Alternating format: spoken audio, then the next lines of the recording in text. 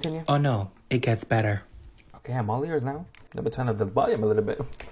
Now, the teacher's name is Christopher, but the principal of the school is also named Christopher. Oh, Jesus. Exactly, that was my reaction too. My son thought that it was for the principal, so he gave him the note. Girl, what did the note say? Oh Lord, I can't say this. Well, you better, because the more information you give me, the more, uh, the better advice I can give you. So I need as much as you can give me, okay? So spill it up. Oh my God, no! I feel like such a sinner.